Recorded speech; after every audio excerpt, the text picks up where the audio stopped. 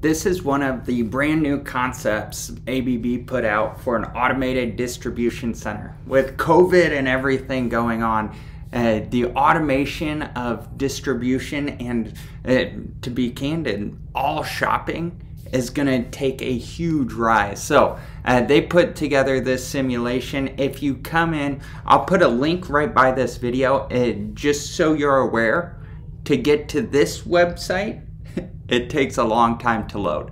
So that's why I'm doing this quick overview video. What you'll see here is it's got all these different things that you can dive into. So let's go into goods to robot picking. So you can click on that link once the page does load and it will zoom in to that area, to the robots and give you uh, some additional information about what they're doing and how they're doing it so that you can see how you might automate a distribution center like this. And there we go, the goods to picking robot. So you can see that's a suction cup head and yeah, it's a robot.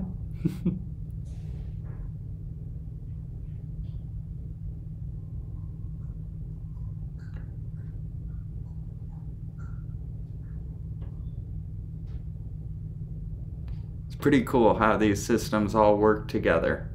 So if you click on the link uh, right by this video or copy and paste it into your web browser, you'll be able to download or go straight to this page. And when that happens, you can browse around and dive into whatever you'd like to see.